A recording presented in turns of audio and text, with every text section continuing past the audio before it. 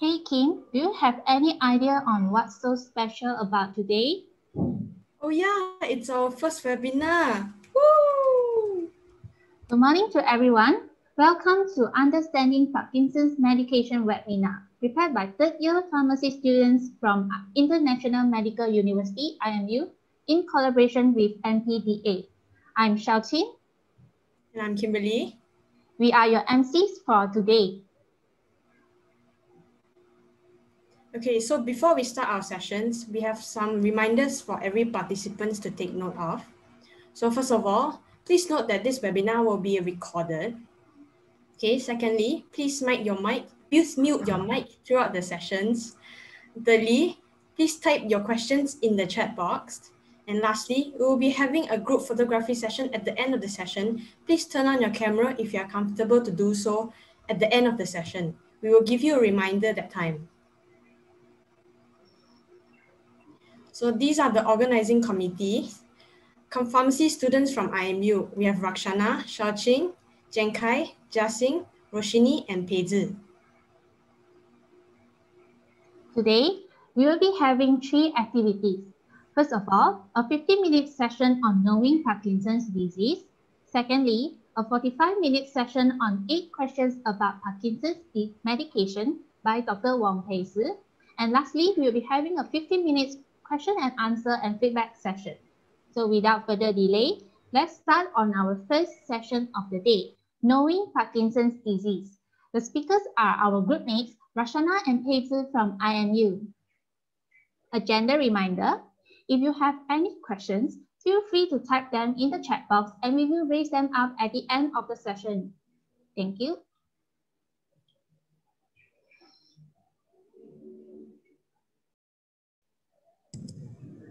Now, okay. now let us invite Raxshanaa and Pei Zhi. A very good afternoon to all. I'm Raxshanaa. And I'm Pei Zhi. And we are third year IMU pharmacy students. Today, we are going to give a brief yet informative introduction on Parkinson's disease. Without further ado, let's start off start our session. I would like to start off with a general question. So what is Parkinson's disease? Parkinson's disease is a progressive condition in which small regions in the brain that controls movement, posture, and balance are being affected. Since it is a disorder that affects our body movements, Parkinson's disease belongs to a group of conditions known as motor system disorders. Did you know that people usually develop Parkinson's disease around age 60 or older? Besides, it is shown to affect 1% of population above 60 years old. 5 to 10% of Parkinson's disease is caused by genetic factor. It is also more common in men than women and more prevalent in developed countries. Then, how do you know you have Parkinson's disease?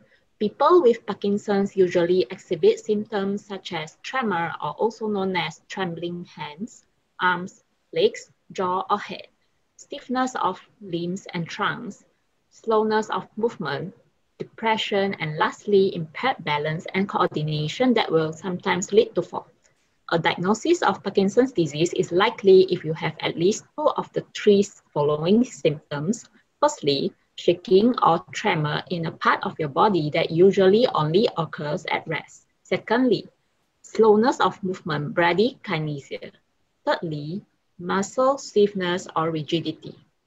So, as I previously mentioned before, Parkinsonism is a brain disorder. In our brain, we have a lots of cells known as nerve cells. And the nerve cells at some part of our brain will release a chemical known as dopamine. So what is this dopamine? Dopamine in our brain helps to control and coordinate our body movements. In Parkinson's disease, the nerve cells that release dopamine becomes damaged or dies. So that means the amount of dopamine in our brain will also reduce. If the amount of dopamine reduces, then it will cause movement problems in our body. For example, like the symptoms that was mentioned before, and that is also shown in this picture, such as masked facial expression, stooped posture, rigidity, shaking of hands or legs, slow movement, and balance issues. There are some tips for the Parkinson's disease or their family member to help in coping with this disease. For instance, when walking, walk slowly with a straight posture and with your legs further apart. Always think about taking big steps to help to keep your steps more normal. You may use a suitable cane or walker if necessary. Lastly, when stand up from chair or bed, try to move slowly to avoid dizziness or lightheaded. Parkinson's disease family members can also help by installing grab bars on toilet or shower to help him or her to stand up. Besides, you can also install an elevated toilet seat to make standing up easier after using the toilet. While dressing, try to wear simple clothes or pants with elastic waistbands such as sweatpants as well as loafers or slippers. Lastly, as the family member, you should always be observant of the changes in symptoms, abilities, and moods of the patient, especially after changes in medication or therapy. Go along with the patient for his appointment with doctor to ask questions, take notes, and share your unique perspective on symptoms and other issues that he may not bring up, such as sleeping problems or mood disorder. So, to quickly recap, Parkinson's disease is a brain disorder that affects male more than female, mostly above 60 years old. When nerve cells in our brain gets damaged or dies, the chemical known as dopamine reduces in our brain that causes more movement problems. Even if this is a lifelong condition, do not worry. There are lots of techniques that can be used to cope up with Parkinson's. That's all from us. Thank you.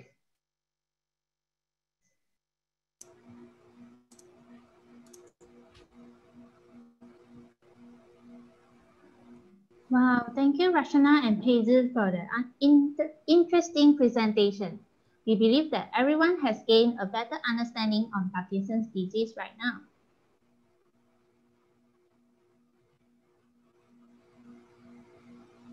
So now let's move on to our second session, eight questions about Parkinson's disease by Dr. Wong Pei Se.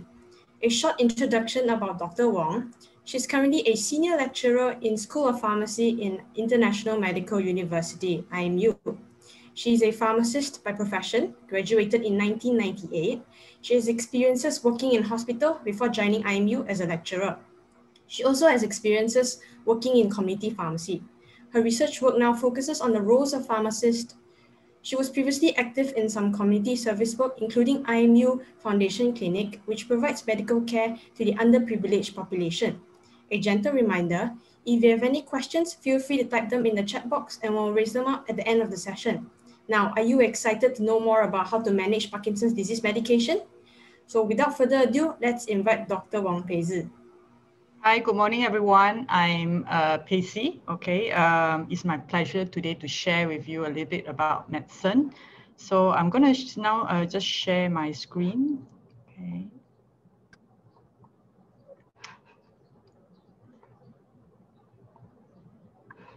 Okay, can you hear me well? Can you see the screen? Can you see the screen? Can you hear me well? Yes, you can see. Yes. Okay. All right. Okay. So as I mentioned, I think thank you everyone. I think the uh, presentation today, what we're going to try to, uh, what I'm going to try to do today is trying to share with you perhaps uh, different things about this uh, Parkinson uh, medication. Okay, I, I, I know that, I mean, with the time and everybody probably taking different drugs, it's unlikely that I'll be able to talk uh, about one drug, um, you know, every single drugs that you might be taking. Uh, but we have uh, tried to arrange it into eight different types of questions and try to make you understand a bit more about medicine.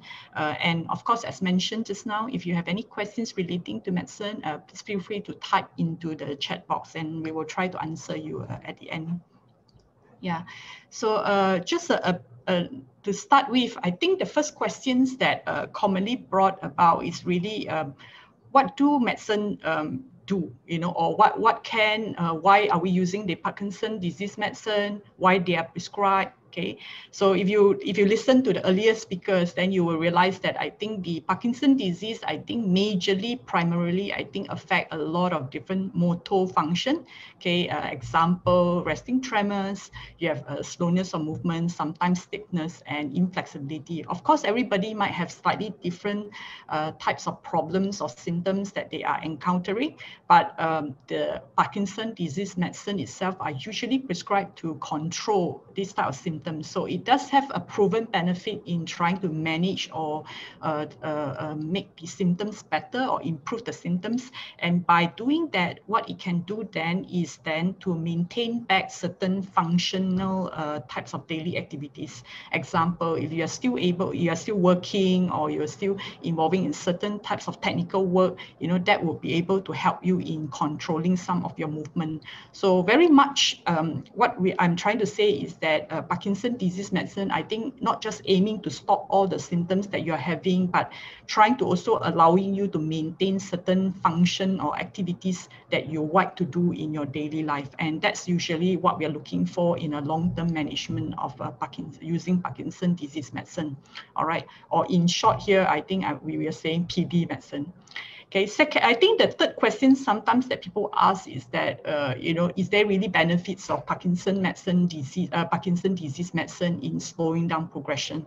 I think I'm um, happy to, to sort of share that there are some studies that actually say that, you know, some Parkinson disease medicine might be helping in slowing down progression and some of them may potentially also help to slow rate, slow the rate of, so, uh, you know, how uh, Parkinson disease are progression. But unfortunately, the evidence are a little bit scanty at the moment, which means that there is no uniform or strong evidence to support that. Uh, so hopefully we're going to get more research studies ongoing to sort of confirm whether they are exact benefit or which medication does have that benefit. So at the moment, it's, it's really a, a sort of a question mark in our head. Okay, um, there are many different types of uh, Parkinson disease medicine. I think overall, perhaps we have uh, more than 10 or maybe around 10 different types and they all contain different medication inside. Um, I'm sure, I think if you look at the first three uh, pictures here, Madopar, Sinemet, you know, level, you probably, I think some of you may have taken it and you probably will recognize that there are component inside which is very recognized called, uh, that's recognized called levodopa. Levodopa basically is probably the mainstay or the most important medication inside Parkinson disease uh, management. So it's frequently a component of uh, this medication. Um, I, I, suppose um, if we look at look back at the history, it has been probably used as the primary medication in Parkinson disease management for over 40 years. So um, I think one thing for sure is that we know very well it works very well in controlling the symptoms. And in some cases, of course, if the uh, Parkinson disease has gone advanced, they might be challenging to challenges to just use Parkin, uh, levodopa alone. So in that case, uh, some patient may get uh, additional um, types of drugs to be add on to help to control some of the symptoms. Okay, all right. So when is the best time for you to start uh, Parkinson disease medicine? Um, is it as soon as you're diagnosed or is it when the symptoms get more troublesome and affecting daily life? I think these questions ultimately usually come back to uh, the patient themselves because any starting or any initiation or uh, introduction or starting of any medicine, I think will need to thoroughly be discussed um, depending on how severe is your problem now um, are you ready to start the medication and how problematic or how bordering is the symptoms uh, uh, affecting your daily life. I think what is more common is that uh, most patients would opt to take the medication when the symptoms are affecting very much about uh, uh, affecting their life. You know, example, they are not able to carry out certain work because of the symptoms and the, or the symptoms are getting more progressive and it does affect their work, their life, or even their movement. So um, that's usually the point that the patient decide, um, you know, uh, that they should probably start the medication to control some of the symptoms. And but of course, from the perspective of, uh, of uh, as a pharmacist or healthcare professional, we normally look at it as to uh, a balance between uh, a, risk and benefit. You know, we know very clearly there are benefit of taking certain medication, you know, uh, or Parkinson disease medication in controlling some of your symptoms, making you able to perform certain daily life. But we are not, we are also aware that there are certain risks of the medication, you know, and some of these risks is something that we, we were able to control and monitor, you know. Yeah, so from the perspective, I think we always try to weigh uh, benefit risk, whether it's suitable to be starting, uh, start to be started for a certain patient on the other side is that um, from a lot of perspective of the uh, expert as well, I think it's important to start the medication at a point when it start to bother a lot of your movement because there's a lot of concern about delaying the treatment. Okay, uh, the, the, I mean, I, because we know Parkinson affect a lot of motor function and it, it does sort of present more in some of the elderly patients. So what is the major concern is, uh, is the complication. What if uh, they are not on medication, their disease or their symptoms get worse, they fall down, they had a fracture, you know, um, or because of the fall, it causes other problems. So, so they are also obviously main reason why sometimes, uh, you know, doctor will want to sort of encourage that uh, patient to start the medication when it start to bother them, you know, so that you don't have such a complication uh, because of fall, because of the movement uh, that that uh, the problem in the movement.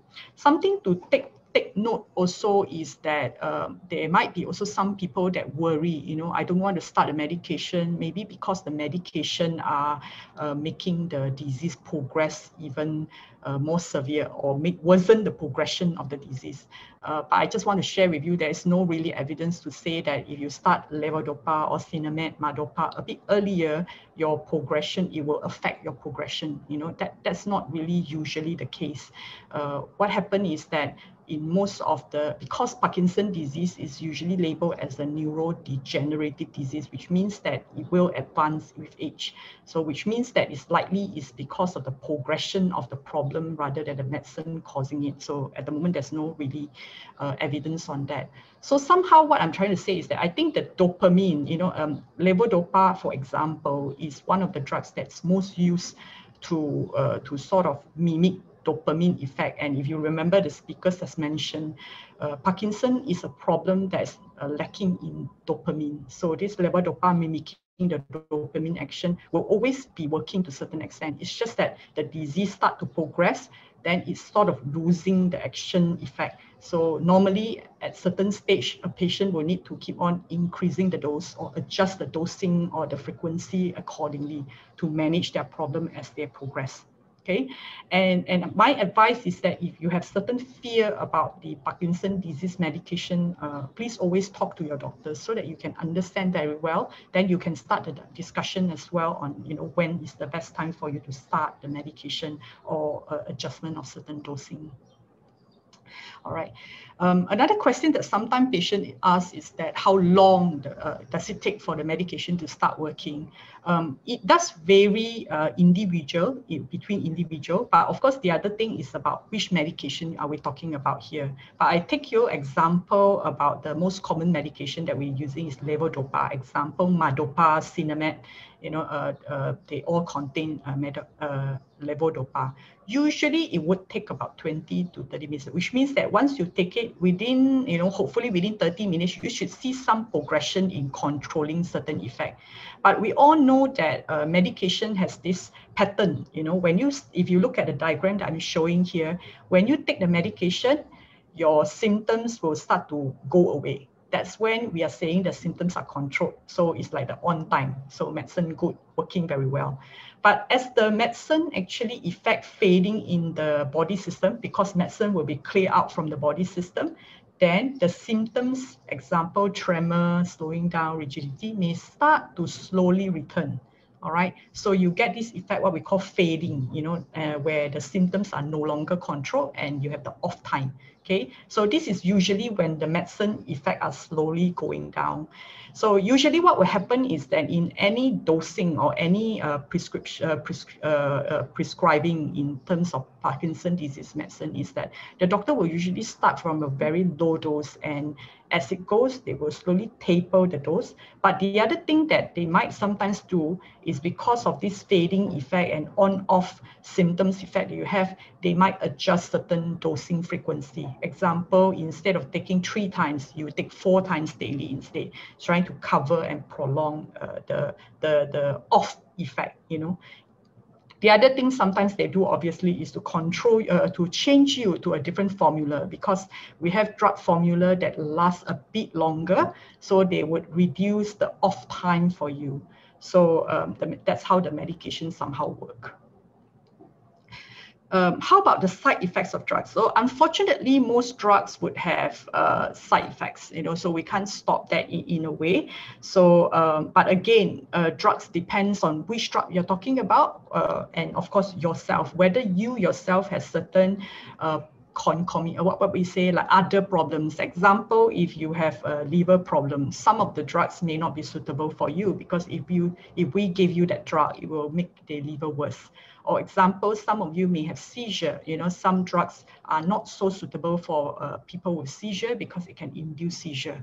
So uh, that's why usually before you start a medication, the doctor or the pharmacist might need to know a bit more background about the pro uh, about other problems that you're having so that we can pick certain medication that don't contradict or don't actually make your problem or existing problem worse.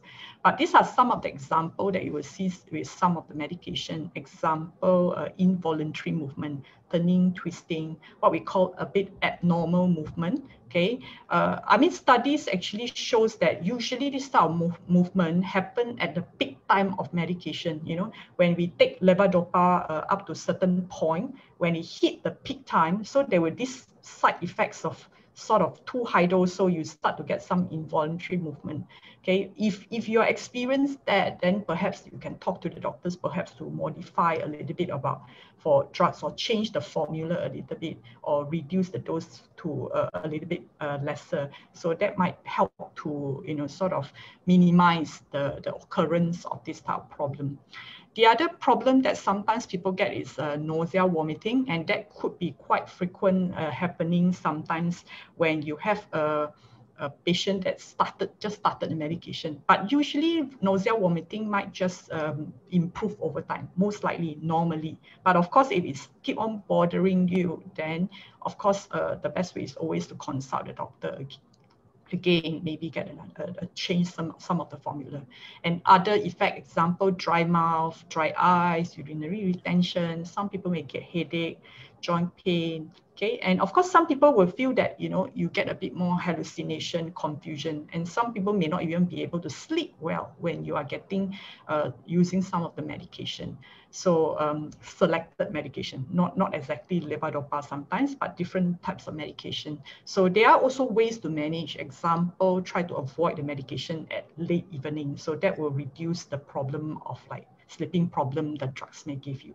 So what I'm trying to highlight is that at the end of the day, some of these side effects, there is ways to deal with it. You know, they, they are there are probably ways that we can minimize or reduce or avoid some of it okay, to the comfort level that doesn't bother or doesn't affect your life so much in that certain extent.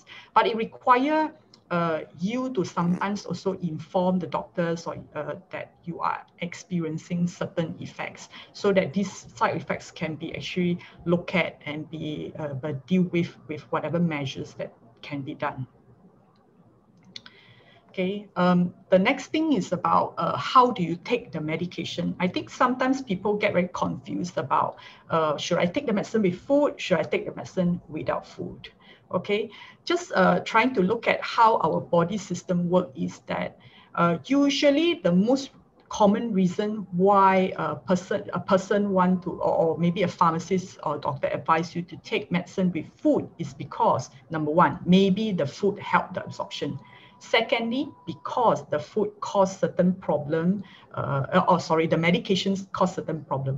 Example, after you take the medication, uh, if with empty stomach, you may tend to get a lot of nausea, vomiting, or you know, or or uncomfort or discomfort. So uh, that's the reason why sometimes you're advised to take with food. Okay. Uh, and, and as I said, maybe some medication absorb better when there's food. Okay. Yeah, but of course, there are also reasons why sometimes you are advised not to take with food. Okay, and and that's maybe because with a lot of food, the medicine don't absorb very well. Okay, it interferes the absorption. Okay, uh, most likely that's the case. But what, what do we mean by with food and without food? Because it can be very confusing. Normally, when we say with food means that we expect there is some food in the stomach.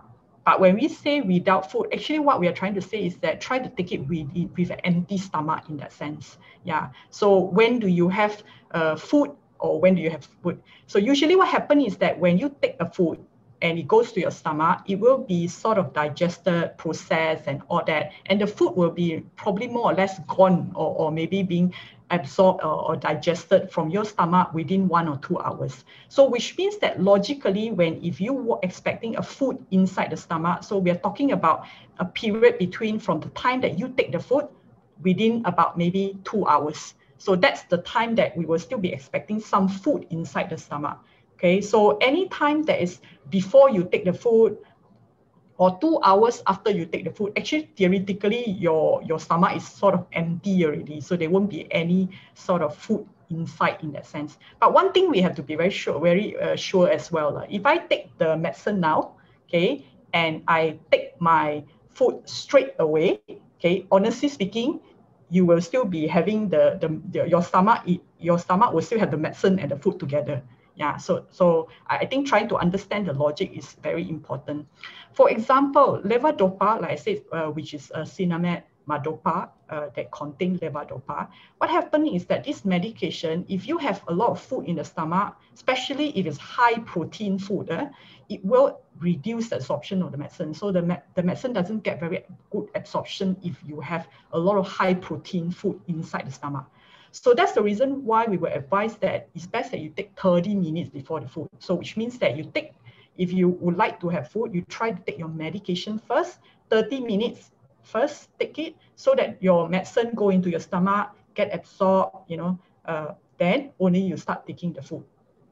But of course, we know that some people experience some nausea, vomiting effect. So that's the time that we advise perhaps then you will have to take with the food.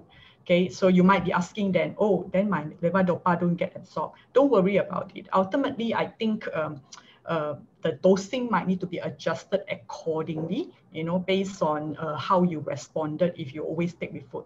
So my advice is always try to keep it consistent. You know, um, if you want best effects, seriously, uh, uh, definitely I would encourage that you take we, without food, like 30 minutes before food uh, for levodopa. But, uh, but of course, if you still experience some nausea, vomiting, especially when you start taking it, uh, take it with food and, and slowly try to see whether you can start to get, uh, you know, lesser and lesser nausea, vomiting effect. Then you can switch to take uh, before meal then. For other medication, okay, it's best that you consult a pharmacist, you know, uh, they, because there are some medication, perhaps we will suggest that you take with food. And interestingly, some medication doesn't matter. You can take before, you can take after, it doesn't have any impact at all. So um, there are some drugs that has impacts, some drugs don't have. So it's very, very depending on the drug itself. So the, the best way to deal with it is really to check with the pharmacist when you uh, get the medication, okay, if they have forgotten to counsel you on that. Okay, um, let's go to the next questions. Um, okay, I think some uh, what we struggle sometimes is that patients forget to take the medication. Okay, and, and is there a way that we can uh, sort of help you to remember to take certain medication? Uh, but my advice is always that um, need to understand why are you not taking your medication. I think if you are forgetting to take medication, example, you cannot remember the time, then obviously I think with technology now, uh, sorry, uh, with uh, what we have now, you can consider getting a pill box. You know, some medication maybe can be arranged into pill box. You know, help you to remember what to take in the morning, what to take in the afternoon, what to take in the night. You know, so that might help as a reminder. The other way, of course, is that with with all of us now with mobile and all that is to set a reminder inside your mobile. You know, have a have a have the mobile to ring at maybe uh, eight o'clock in the morning uh, 12 o'clock, 1 o'clock, 2 o'clock, you know, things like that, so that it will keep on reminding you to take uh, medicine. I think most of the people, if you have make it as a habit, you will just automatically somehow remember in that sense. But I also want to highlight that uh, there are also service that can help you. Not all pharmacy do that, but selected community pharmacy, uh, I'm not trying to market here, but uh, I know Alpro pharmacy actually do this type of service. So they help a patient to pack all their medication into small little uh, package like that. So this is like a packed medicine. So this is extra service. And I know that they provide service to their own customers or their own patient that buy medicine from them in that sense. So um, like I say, I'm not trying to market that, but it is also one option that could be considered if you are having a very, very big problem in trying to remember your medication. But of course, there are some people that uh, reluctantly or somehow not able to follow because of certain uncertainties. Example, you are fear about your medication, you're worried. You think you are causing, is causing certain side effects and you're worried about that. I think all these are logical and somehow um, I would say that it's important that it's brought up to be discussed with the doctors so that um, I think it has to be very honest, you know, why are you not taking medication what exactly are you uncertain of? Uh, only because we know what are your uncertainties, then doctors or pharmacists are able to counsel accordingly and helpful to help you in managing your medicine better. We know this is a long-term medication and it's likely that you might have to take uh, long um, in throughout your life you know there's no probably you won't be able to stop at certain point that's why i think uh, i think if we work together with you or i mean i mean the pharmacists and doctors and working together with the patient i think it will be able to come up with some uh, better solution or better remediation in managing the medicine Okay, the other thing is about um, supplementary medicine, over-the-counter medicine. Say uh, over-the-counter medicine here, uh, what I meant is that um, medicine example uh, that you go to pharmacy, uh, uh, cold and flu type medicine example, the Panadol, you know, other types of constipation medicine that you can just take from the shelf. So these are what we call the over the counter. Okay, you don't need the pharmacist to actually uh, buy it at all. Yeah, and the other medicine that sometimes people ask is about the herbal. Should I can I take herbal together with my uh, Parkinson medicine, disease, uh, Parkinson disease medicine, or even any medicine, or even supplements? You know, can I take that? Um, I think what you have to uh, understand is that there are large numbers of actually evidence within, uh, you know, in, in the internet. If you just Google, you will find a lot of things about lifestyle, dietary, nutrition, physical treatment, you know, they are frequently promoted uh, to Parkinson disease patient or to be used together. I mean, some of these supplements uh, would include ginkgo, example, fish oil. Okay, there are some that uh, will market to use selenium as well because of their uh, antioxidative effect. I think many of time, if they are uh, sort of marketing or some are promoting supplements or herbal, the, there are usually some reasonable justification. Example, the supplement has a mechanism to protect the, the nerve, you know, or a certain ways or theories to protect the, the nerve. Um, I mean, as a pharmacist, I'm not saying that uh, it's, it's, it's not possible, you know, because the, the data can be very genuine. It does have evidence that it will protect the nerve and all that. But I think what us struggle the most is because there are not very much uh, documented or evidence or strong evidence in how it's used with patient, uh, you know, when it's actually taking together with patient when they are handling, uh, when they're having Parkinson disease at certain stage, or even when they're taking with the medicine. So there are very little thing that we know at the moment is that how when you take herbal, when you take supplement together with your medication, how they interact, how they affect each other, whether they actually give you benefit I think this is the part where we are still don't have very much evidence about it. So unfortunately, you know, we, there, there's aren't that many research going on in that area because it's very difficult to control. But on the other side is that I, I know herbal supplement have very little or mild, very little or mild potential side effects. So which means that logically, it doesn't harm your Parkinson's disease. You know, it may not give you much problem in terms of managing your Parkinson disease and all that. But like I said, we're just not sure whether they actually interact with some of the medication. I think that's the major concern. I think similarly to some of the over-the-counter medicine, they are usually labeled as quite safe. Like example, Panadol. you know, some of you go to pharmacy or go to even some stores, you buy a strip of Panadols and all that.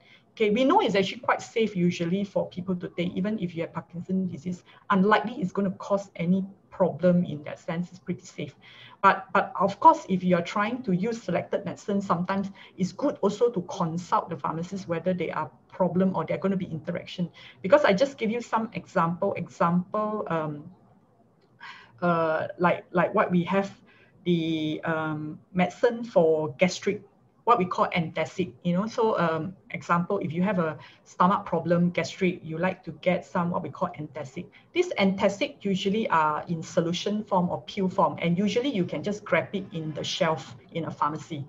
And, and usually uh, what happens is that this antacid, this medicine called antacid, they will contain substance like calcium inside, uh, magnesium inside, sodium carbonate, uh, bicarbonate. What they do is that they will help to relieve some of your gastric problem and symptoms. But unfortunately, this tablet, uh, if you take it together with your Madopar, Sinemet that contain the levodopa, uh, what happens is that they will, this antacid, because it contains quite numbers of mineral, it will actually reduce the absorption of the levodopa. So, you know, so they, they might be possibilities, sometimes interaction like that. So, so that's why what I'm saying is that, and of course, there might be also interaction with other medication that you're taking. So what I'm saying that is that ultimately it's best that if you are uh, wanting to start any uh, supplements, herbal medication, you know, best to consult the doctor, discuss and let your doctor know about it so that at least if even yes or no, there's someone that can monitor and advise you how to how to uh, monitor certain signs. Or if you're taking any over-the-counter medicine, try to consult the pharmacist as well. Make sure that you know you're taking Parkinson disease medicine and it doesn't interact with medication. And at the same time, they can also advise you if there is any other types of uh, medication that might be more suitable for you compared to what you can just grab from the counter. So I think that that's something quite important to take note. Okay, I think this is my last questions, which is like, uh, uh, what if you have medicine um, you don't want to take? So why, how do you dispose it or what should you do? Okay, the most simplest way is usually to bring the medicine back to the hospital. So um, in government, basically the Ministry of Health, government hospital or government uh, health clinic, there is usually what they call returning medicine campaign. So uh, what I'll advise you, of course, you can put all your medicine into a bag, but before you do that, try to just remove all your personal detail. For example, your name, address, or phone number, whatever that's on the label, uh, you can just remove it if you want to, so that your identity is also protected to a certain extent. So you can put all your medicine into the bag, and if you ever go back to this government hospital or government clinic, bring along, okay? You can pass it to the pharmacy department, and in some cases, uh, the pharmacy themselves might have uh, some uh, uh, boxes or notice where you can put the medicine. But if they don't have, you just walk to the pharmacy counter and tell and ask them, where can I, uh, I like to dispose this medicine, can I pass it back to you? So they will actually pass it back. Uh, they will actually take it back, okay? I think what is our general advice is that uh, do not dispose it to any garbage bin, flush into toilet,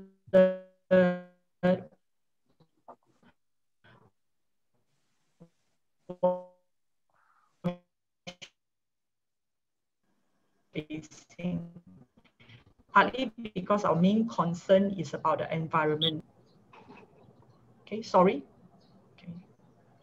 Okay. Unfortunately, these medication are, are, are hitting, are, are going into the drainage station and it really cycle, you know, so we are also taking some water which is filtered and things like that. So you don't want to affect the environment to a certain extent. So I think it's always good not to uh, flush any types of medicine, including even Parkinson disease medicine or even any types of medicine. Okay. And the other advice, of course, is that try not to share your medication if you're not sure whether it's suitable for the person or not. So um, because usually medicine are prescribed to you and is, is based on your condition may not always be suitable for others. So do not give to your unused medicine to someone that's uh, for specially medicine that's prescribed to you but not for them. I think uh, that's all for my presentation. Uh, thank you very much.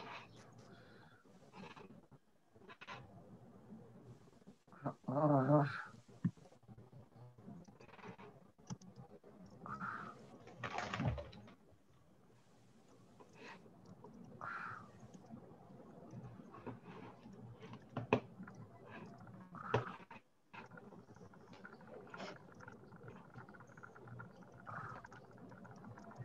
Okay, thank you very much to Dr. Wong for the insightful sharing. Through your excellent sharing session, I am sure that the, the participants are more aware of the Parkinson's disease medication now.